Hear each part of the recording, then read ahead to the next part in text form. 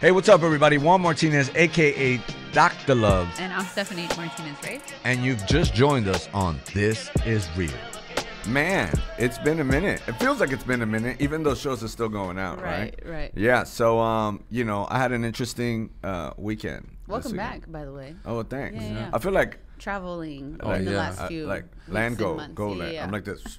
So I, I we talked a jet little bit about Africa and stuff, but we no, we didn't. Not really. Man, I've done some crazy no, that's stuff. what I mean. Yeah, you've been kind of out yeah, there. a little bit out there over here. Um, but this weekend was really cool. Even though you know, yeah. So how would how this has looked like in the last month was we were in Africa for about ten days. We winded up going into the middle of nowhere. Mm. We were in a remote spot. We landed in Kenya, but we were remo- in a remote spot, like in a remote spot, and um, it was wild how like even out there you know, we're gonna be talking a little bit about Deuteronomy 8 and stuff, but I just saw Deuteronomy 6 and I saw the need for discipleship and the need for families and all of this stuff because, you know, they were so ingrained in their culture that they could not see when we were saying something different, right? And so we go out there and um, we come back, then we wind up doing a, a marriage conference in Ohio. Mm-hmm.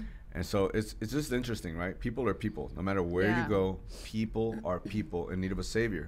You know, they're they're all in need of a savior. So we could go there and teach marriages what we teach here over there, and it's the same problem. Mm-hmm. It's usually the same problem. You know, they might look a little different. We like putting things in boxes. Culture but is it's the same different. problem. You know, Yeah. culture a little different. And so again, ingrained in culture, you know, no matter where you go, right? Mm-hmm. Israel, it's the same concept. And then uh, just recently, uh, it, it was me and Ruthie's 13 year uh, wedding anniversary, which, you know, I don't know. I tell people, like, for me, I don't know. it's a bam, bam, hallelujah, and, you know, all the sound effects, put them all. You know, like, to literally be married to a woman that I'm in love with and that we're constantly working on growing together Yeah. is like huge coming from, like, you know, where I came from, Yeah. right? Yeah. So like that didn't exist. So it was because that was culturally right too, right? Like Mm-hmm. my dad, you know, they never were like, you know, be with one woman. You know, it's like as many as you have, that makes you a man. You know, so you learn that stuff. Movies teach you that. You know. And I'll say I think it's pretty cool too that um, for I guess majority of that time also you guys did started and have been in ministry together the entire time because Pastor Ruthie's been doing it with Yeah. you from the start, From the and start. so it's not usually the case, right? Yeah. Um, sometimes maybe it's you know the man is the pastor or you know or you guys come together and then decide to go into ministry or something like that, Yeah. right? Yeah. But you guys just kind of birthed to get wrapped in all the ministries and the radio and all of that together, you know. Yeah, while So- being married. yeah, while being married. I mean, technically, what like a couple, a few years Yes. in. Yeah. So yeah, that's really cool.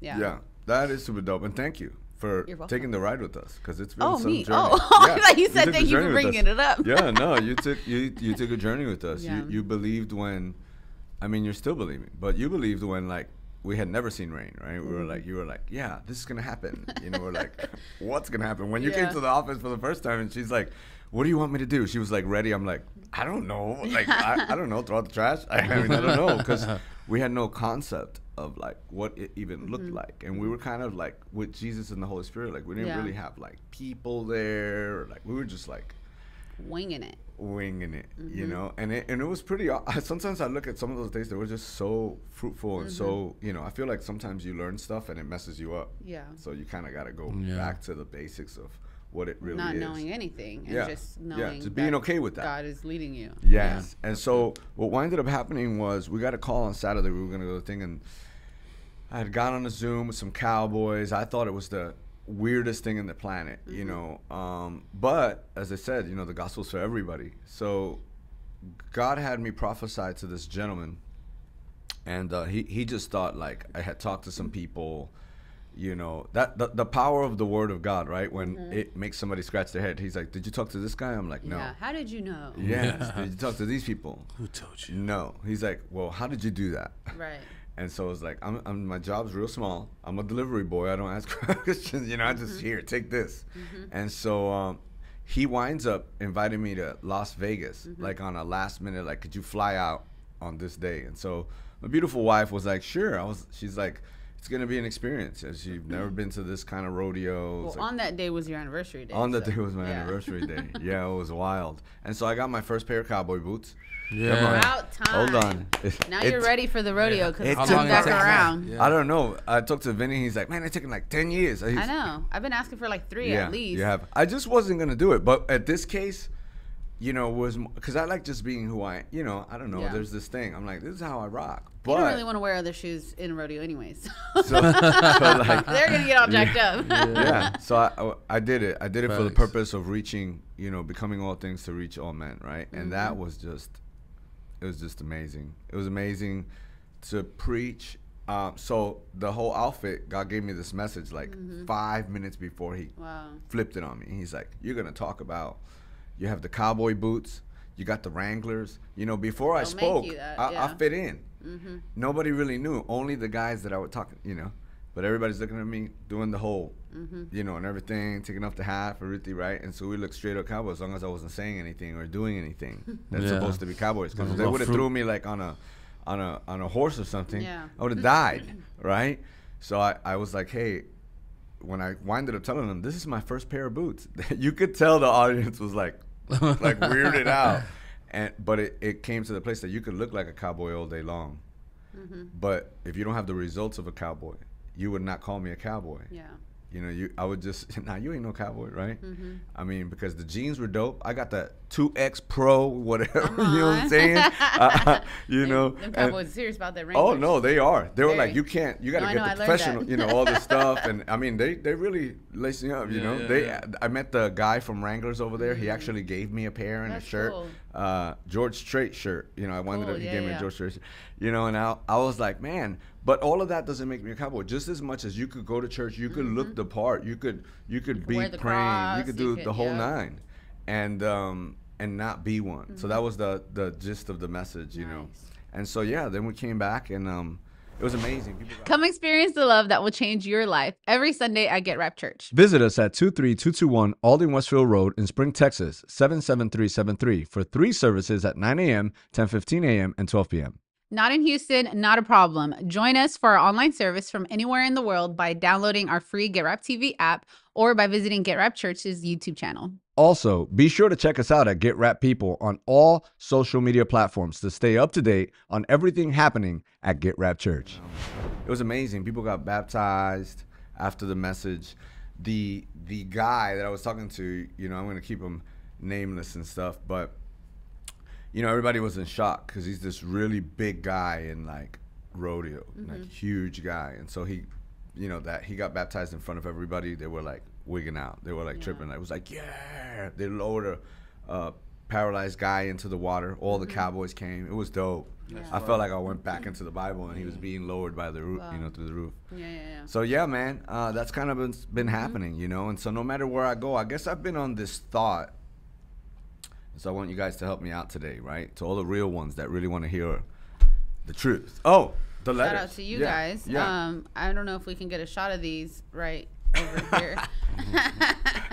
um, yeah, so we appreciate you guys. There's like a huge, tremendous stack of letters. Uh, we have opened quite a few. Mm-hmm. Arizona. We haven't gotten to all of them just yet, but um, I mean, we can say a couple of Yeah. What do uh, you got? names here. We got a Jimmy Trejo, Andrew Chapa, uh, Hernan Cortez, Gerald Moody. We've got Dallas and El Paso and Mhm. Hobby unit. Gatesville. I got I got one from a brother named Juan, uh, aka Polo. I wrote you that. Yeah, No, I'm joking. yeah, nah.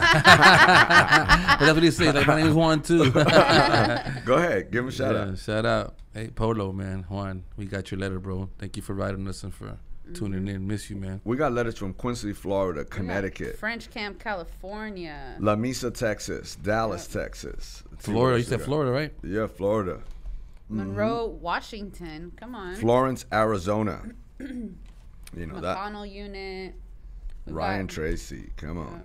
We got all these letters Bell, now. It's- Clemens. Yep. So we're gonna start to do try to do better because we haven't even checked the mailbox and this is two weeks ago. This is yeah. I was gonna say this is. and so with all the traveling and stuff, we just want to tell you that we love you. Hey, I want to shout out, you know, our sponsor, ISI. Without ISI, we could not do what we do. You know, let me do my little got into an accident. you know, it's like my favorite part right there. Yeah. You know, and so we just want to give him a shout out for always partnering with us and believing in the vision to set the captives free. You know, Yeah. they they've just been an incredible help, and all those out there because there's other people who have been sponsoring Yep. and kind of like just coming alongside this vision. You know, to try to we're always trying to raise. I think it's like the 18 grand. Like, you know, I would love to be a few years in advance so we don't have to even worry about it. Yeah.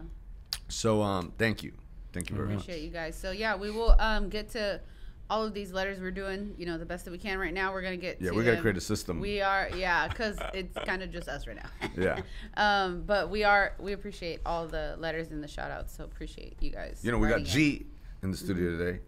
What Come up, on. G? G man. What up, G man? We don't know. We gotta give him. We, maybe that's his name. We'll figure it out as we continue to go. Yep. But um, Him. guess what? so I've been on this thing. You know, we're gonna talk about Deuteronomy eight, but you know, I've really been on Deuteronomy 6 Mm-hmm. and just the fact that you know this one, I think in the beginning it says "Remember the Lord" in Deuteronomy eight. Yep. It starts off with "Remember the Lord," Mm-hmm. but like all I see this theme, which is kind of like always remember that it was the Lord your God, and so because for some reason I feel the theme throughout the Bible, even for us today, is that you know whether it's we fell or whatever happens, we forget or basically here it's more like, hey, you did these things, you're getting blessed. In Deuteronomy 8, we're, we're just gonna read some of it, and you're gonna see like then all of a sudden they have wealth, and then they forget that it was God, and they start living off of I guess what they think they can do to almost replace God. Uh, why do you think that happens? Like, why do you think that? Um, all right, um, let me. What do you think that? You forget? That yeah, that that we we start doing good, and all of a sudden, like, all right, Jesus, like, it's almost like we tell him follow us instead of us continually following him. It's like when when because I've been, you know, I know we're we're talking to people that are incarcerated right now, not just behind bars, but out here, Yeah.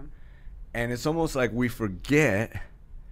Did we forget how bad it was? Like I don't know, like you know, because we say, yo, that your A game got you into prison. Mm-hmm. Yeah. Like your best idea was a mm-hmm. Friday night. You were chilling Thursday, Saturday, and you were like, "This is a good idea." And maybe you were out here. and You're like, "I'm not incarcerated." Nah, you keep you're incarcerated because you keep winding up in the Cycle. same Yeah. relationships or whatever it is mm-hmm. that you keep winding up in the same thing. And Yeah. it was a great idea. Ooh, man, I can't wait. I'm gonna get with this dude. Mm-hmm. Or I'm gonna go out partying or whatever it is. That was your A game.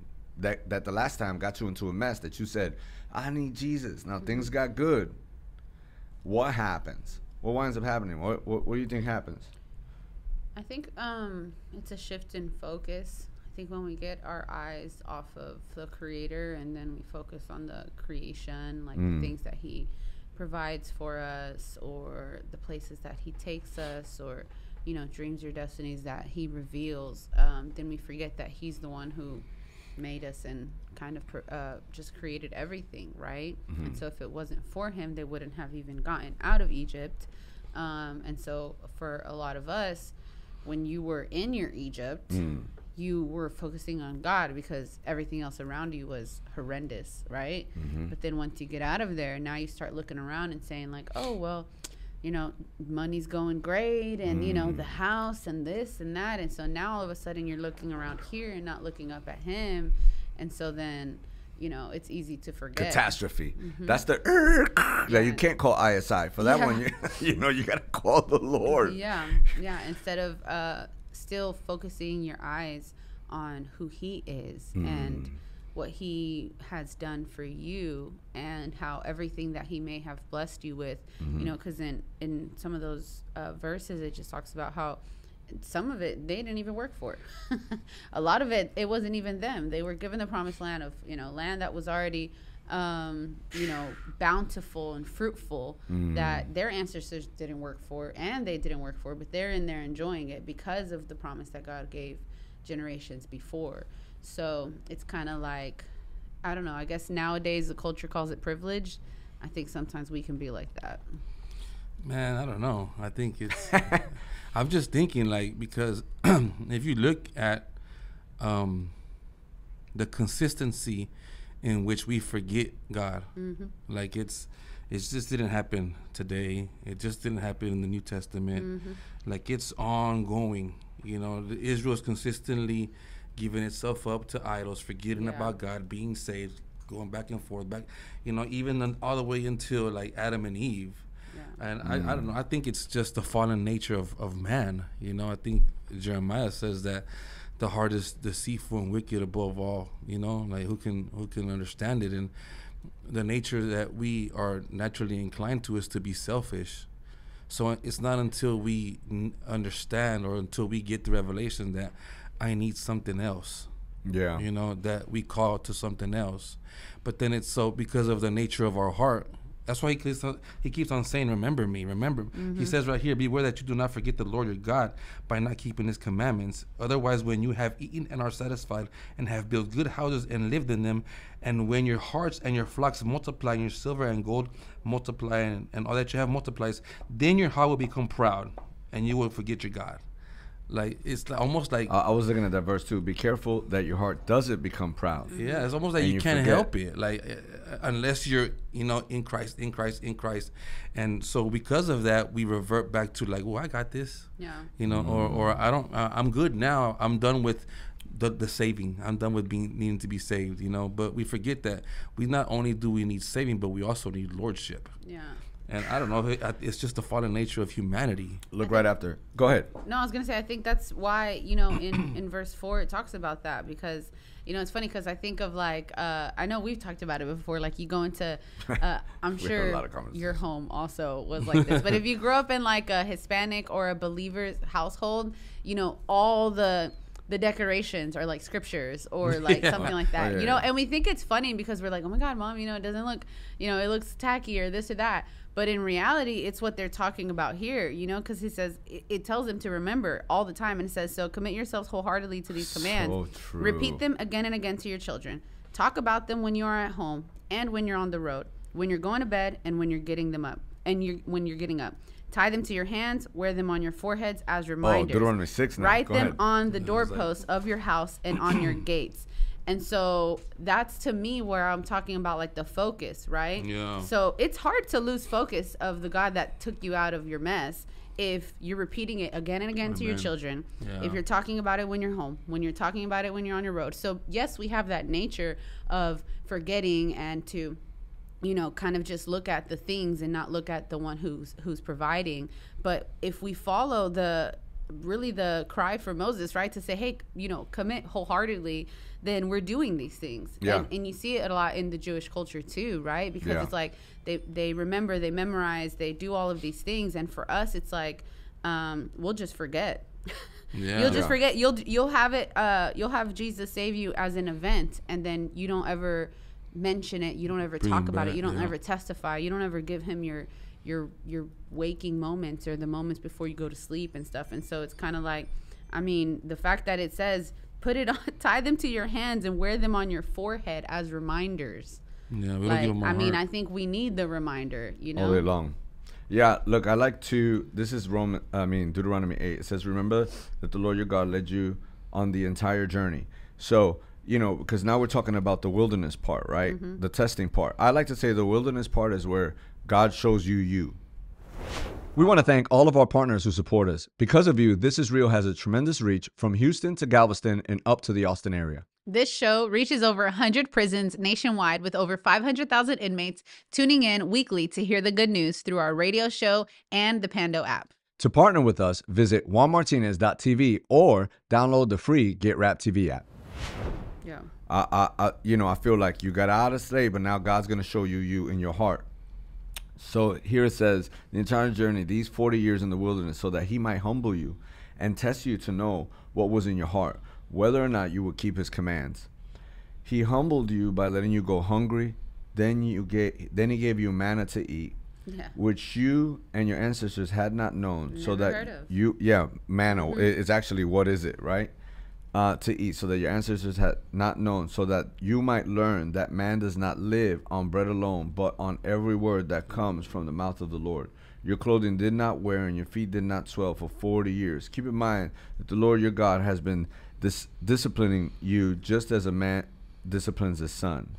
You know, I I don't know. For me, and I always tell people like there was a a season when I first got out, and I always try to tell people this, and it doesn't matter if you're incarcerated behind bars or you're out here and you went to church or you went somewhere and somebody told you about Jesus and you're about to come out of your Egypt. And so now the journey begins, right? Because you mm-hmm. don't see that in the wilderness, there's that testing to God launching you to your destiny, right? You see Jesus going through the, it said the Spirit led him into the wilderness. Mm-hmm. And you see God pulling him out of Egypt, you know, their unbelief, boom, he's putting them in the wilderness again.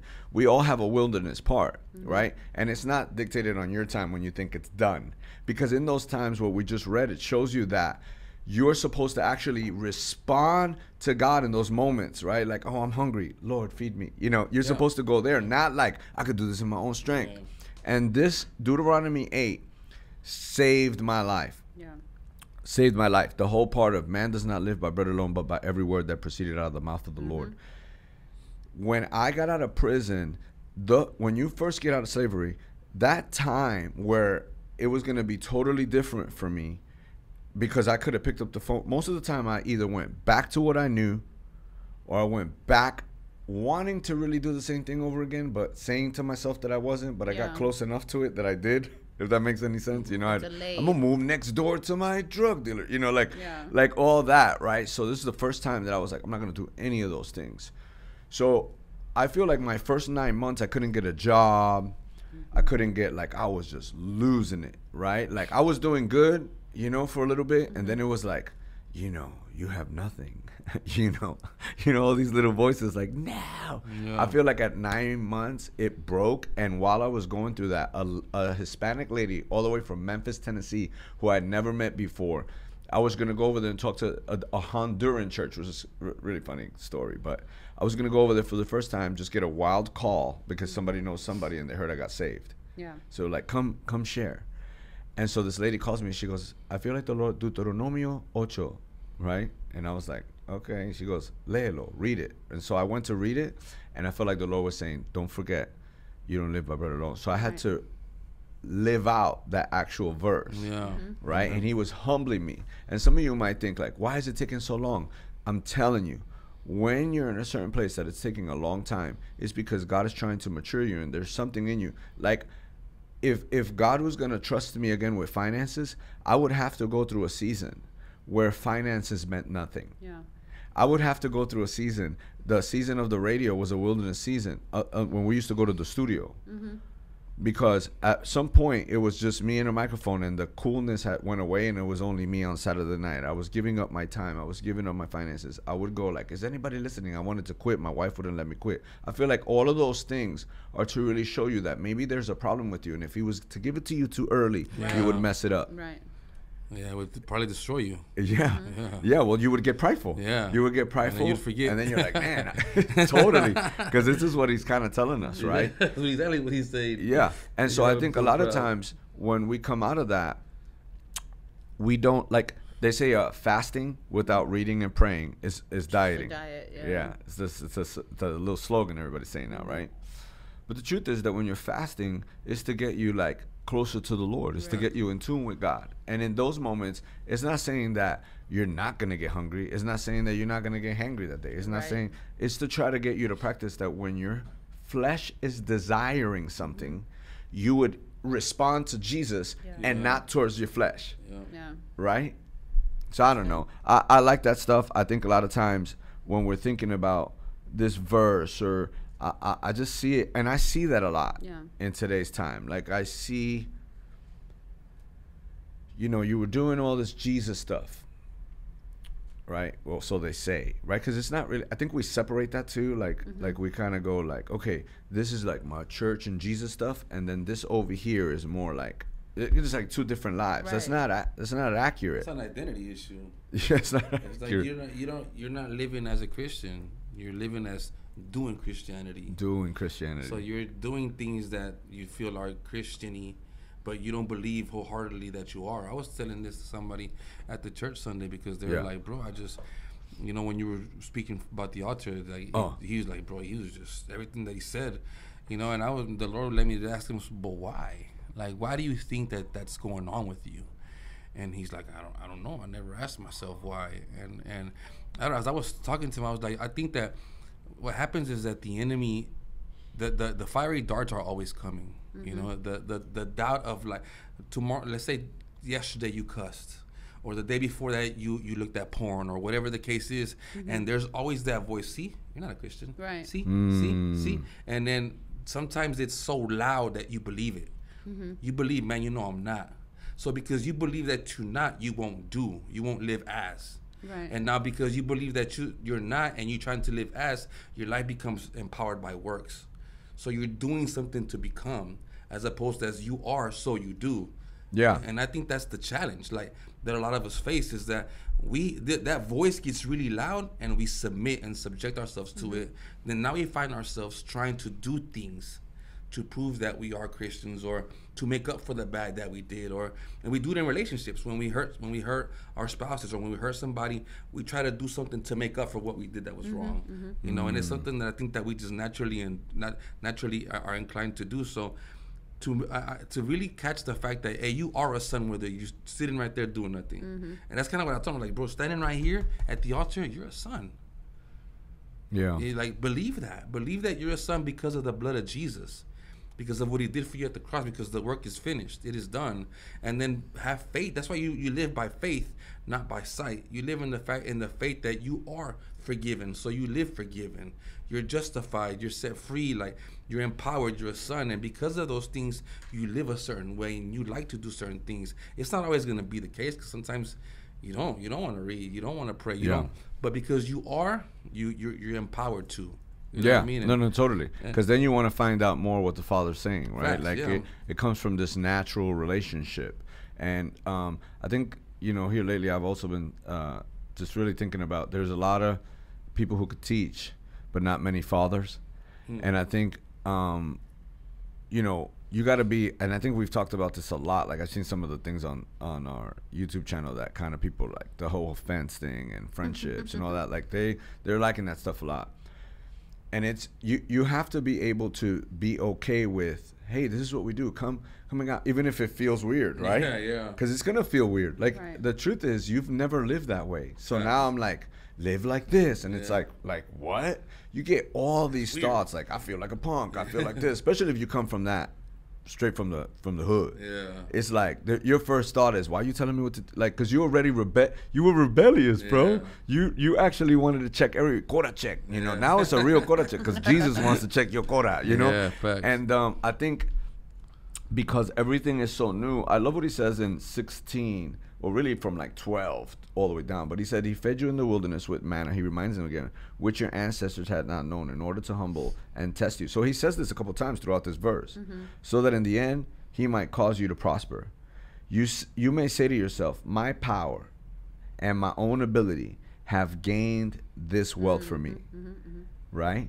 But remember that the lord your god gives you the power to gain wealth in order to confirm his covenant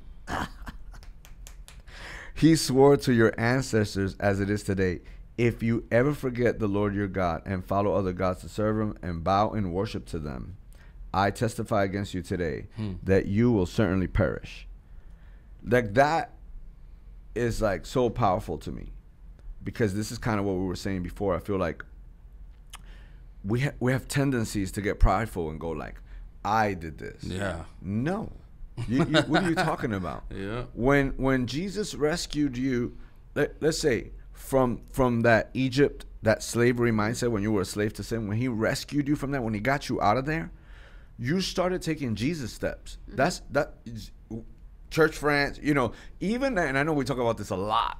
But even when you were tripping, mm-hmm. the people that were walking with God that were coming around you to kind of help you to get you out of that, whatever, all of a sudden you're like, I know. You know, it's like you get this just because you got the revelation today, we've been praying for you for like three years. We've been trying to walk by you. We've been still consistent at doing the things that we're trying to get you to do now. Yeah. And then it's like we hit Christian teenagerism. Yeah. You know, we're like, I know what no, you don't. You you actually sucked.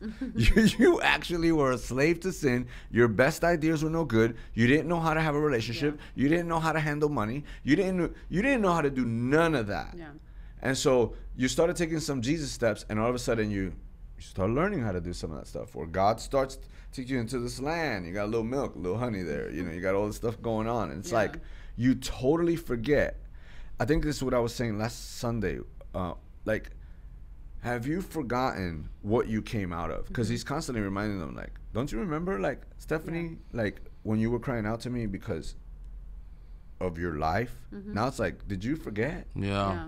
Like you'd still be a slave, you know? I think sometimes we get like um we get into cuz you were talking about being instead of like doing and it's not, you know, this I don't know, I think of like a career, right? When they're like, "Oh, this is going to be my stepping stone, so I'm going to go work this job or make this money real quick so that I can do this or even in like health and you know they're like oh I'm gonna take this pill so I can lose this weight and you just want results Yeah. really fast so you just That's did good. the things that you wanted because you see goals uh, that you want to attain Hmm. instead of seeing that it's not because of what he wants to give you it's because of his covenant that he is going to get fulfilled but you're looking at the things Yeah, or the good. results or the you know all these different things and that's Mm. what you're focusing on. And so the second that you get those you forget who god is. You weren't actually walking in you know sonship and all of that. And so then i feel like it's a cycle. Like we talk about people who aren't aren't incarcerated in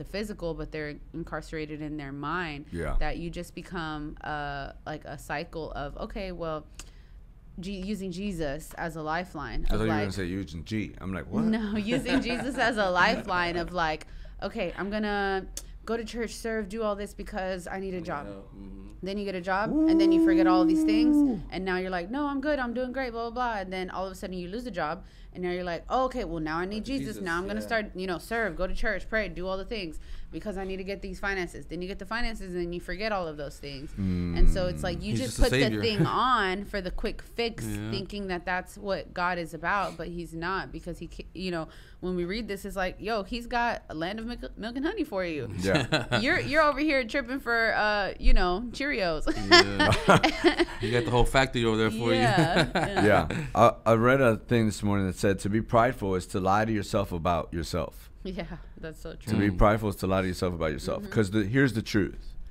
So let's say, because I, I see this too. Well, mm-hmm. like, yeah, you know, your covenant, like, like when you become wealthy, Are you ready to take your relationships to new heights? We'd like to invite you to the most anticipated event of the year, the Love Wins Conference. Join us February 9th and 10th for an unforgettable weekend filled with love, laughter, and growth.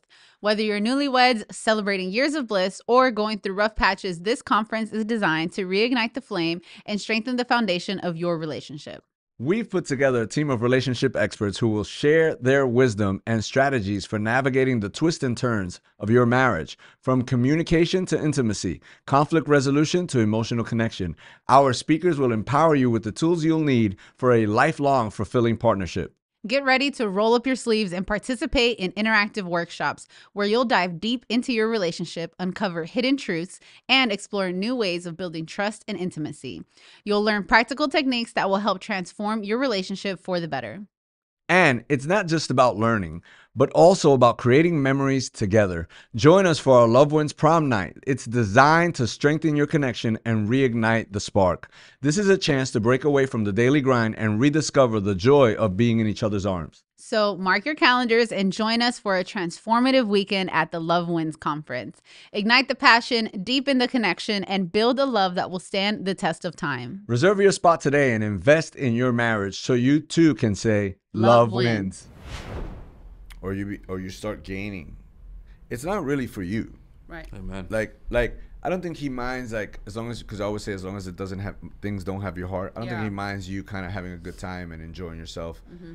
But the your ultimate mindset is that when you create more wealth, it's really to build the kingdom. It's really Yeah. to give it back, right? Like to actually build people, neighborhoods, whatever it is, to build the kingdom according to how God sees that. It's not really like, well, I got all this money, you know, stashed Yeah. under my thing. Like, like that's not really what I believe it's it, it's for. That's why he's like, you know, gives you the power to gain wealth in order to confirm his covenant. He swore to your ancestors. Like, The fact it, it's that, it's yep. yeah. So we have like, oh man, I'm making all this money now. I'm I'm I'm doing really good now. And then Mm-hmm. my question to you would be like, well, how much of that you're using to build the kingdom, Right. Amen.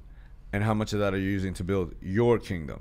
you know what's sad about that sometimes for me That Mm. is like um god's principles apply all the time. and so what's sad for me is that the people in the world apply biblical principles and they see those fruits not knowing they think that it's themselves but not knowing that well that's because god loves his people and he'll use anything, right? But then the people who aren't who claim to like you know be believers and all that will point the finger and be like oh well you know you shouldn't have this much money or you know what are you doing with this business and you should be giving and you should be this and that but yet in your own heart wherever you are you know you haven't applied those things. And so i mean i think it's funny because you see like all those youtube channels and stuff of like um, people giving away tons of things. And i don't know i like those. Those are fun right? Because it's like oh they found someone random on the street. And then because everyone gave you know they got to build them a house or they did this or that. And so it's like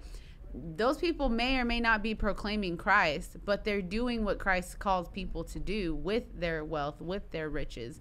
And so they're they're gaining the fruit, right, of being a, a giver and being a good steward. Yet we're over here criticizing and looking and being like, oh well, you know, believers shouldn't be wealthy or shouldn't have this or that or whatever. You know, and so to me it's kind of just like, but his word is true. So if you actually read it, Yeah. if you apply for yourself and you see that man, he's got so much for us that It's really it- it's all about our posture of our heart, then no matter what you think is enough for you, he's always gonna sustain it, you know? Yes. All right. So, um, you know, I was just looking at some stuff like in 9 Mm-hmm. He actually says, basically, do not say to yourself, "The Lord has brought me to take this position of land because of my righteousness." Right. You, you, uh, here's the truth, bro, or sis. You Mm-hmm. suck, and and we all, we all, we all are nothing. They say, "Well, I can't do this." You're absolutely right. You cannot do it. You're absolutely right. You cannot. That is the truth. They're like, "What? Like you can't?" He can. Yeah, amen. He It's- will. yeah, it, because it's according to His will, like Yeah. Him through you, right? So you want to put a bow on it. Mm-hmm.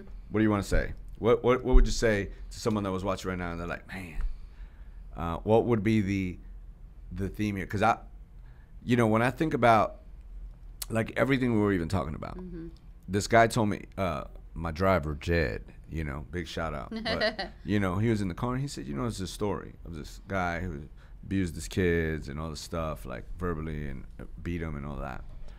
And so later, the two boys winded up, you know, um, doing going different Opposite ways. Uh huh. And he said, you know, asked one of the boys that said, you know, this guy got real successful. He was doing good in life. He said, well, what, what did you, uh, what did you, what, how'd you wind up like this? Yeah. And, you know, with a with a father like that, he says exactly that. He goes, I learned what not to do with this that, and then the other one was on drugs, messing up and stuff like that. And so he's like, well, how can I have a different life? Look at the father I had. Yeah. so it's like two uh, grown in the same household that had different perspectives according to what. And God is always trying to give us a perspective of a father being there, right? That's not the case. You know what I'm saying? Like, like He's always trying to give you this perspective. And maybe you're out there, and you're not really, really being real. Like in your heart, is desperately wicked above all things, and and God is trying to show you uh, how to mold your heart, and for you to be humble enough to go, man, maybe I am making all this wealth and I'm not building the kingdom, or maybe I'm be- getting prideful. Uh, I'm very prideful. I'm not really being honest with myself. I always tell my kids, if you lie to yourself, you lie to everybody else. Yeah. Amen. Be real with you, right? Yep. Be real with you. And so, what would you say? What's mean, your I final thought? Verse 5 says, Think about it. Just as a parent disciplines a child, the Lord your God disciplines you for your own good. Mm. And so it's what, you know, Pastor Ernesto was talking about as well that it's just knowing who you are is for me the answer of everything that you might face, deal with, go through, you know, be given in this life. Because, you know, he talks about how it wasn't because, you know, they were the largest nation that he chose the Israelites. Like, no, they were actually the smallest. It was just because of who he is that he chose us.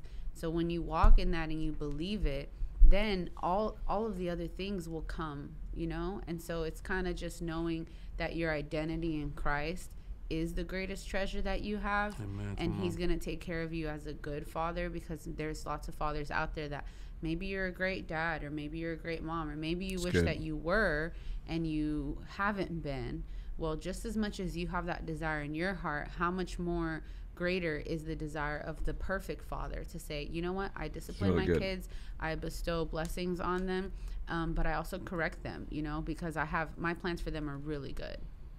Man, yeah. Even in the, like, just to piggyback off what Stephanie said, um, he he is a good father, and not only does is he gonna take care of you, he wants to. Mm-hmm. Like Yeah. God wants Who to. he is, yeah. he wants to love you. He wants to to be there for you. He wants to be your your your strong tower. He wants to be your, he wants to be everything, and uh, I think that.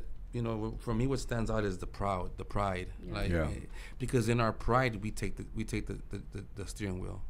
In my pride, I want to drive. In my All pride, I want to. I feel like it's it's my idea is better, and I got the answer, and I can do this, and I'm gonna fix this, and you know I'm gonna find a way to, to do that, and and the reality is that God wants you to be dependent of, of Him, mm-hmm. you know? Always. and that's that's where the power comes from, and it's it's, it's biblical. Like in your weakness, His strength is made, you know, perfect. Like that's you dependent on, on Him. Yeah. Like even even the very breath that you breathe is a gift from God. Mm-hmm. Yeah. So without e- without God, we wouldn't even be able to breathe. So identifying in your life areas that you're not surrendering to God, that Yeah. you're not allowing God to be God, that you're being God, that you're driving, that you have a, a, a certain um, system or program that you're working for yourself, identifying those areas and asking God to help you surrender. Because sometimes surrendering is not easy, Yeah. you know, uh, especially if you're so accustomed to mending for yourself. And I think that's one of the battles uh, for myself that we fight from the street is that I had to get it how I lived. You know what I mean? It was like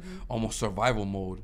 So it, it kind of creates this this this mindset where like insurance, I gotta get you know if I don't have it here, I have it here. If I don't, you know what I mean? Type of thing. When he's like, just trust me, bro. Like Yeah. like mm-hmm. you, you told Stop me the other day, it, like yeah. hey, trust me and I'll show you. Right. Not show me and I'll trust you. You know, and mm. and so identifying in your the areas in your life where you're like, show me and I'll trust you, and and turn them into, nah, I trust you, and because I trust you, I know you're gonna show me. Right. You know, and and and and be willing to surrender, be willing to to let God be God, because when he when when God's got God in your life, like there's there's no limit, there's no um capacity, there's there's nothing that He can and will not do. Yeah.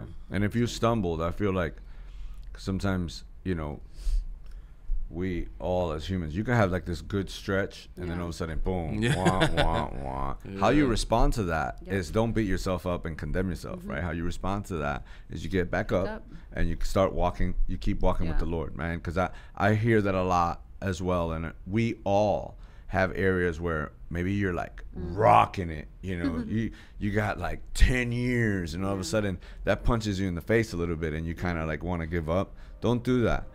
In your humility, God will always exalt you. So Right. get humble again, open up, talk about it, and keep walking forward. Amen. Thank you to all the real ones. Peace. And that's a wrap. Thank you. This is Real Family for joining us. You can be a part of the crew by following us on social media or writing us at PO Box 671 626, Houston, Texas 77267. And don't forget, stay real.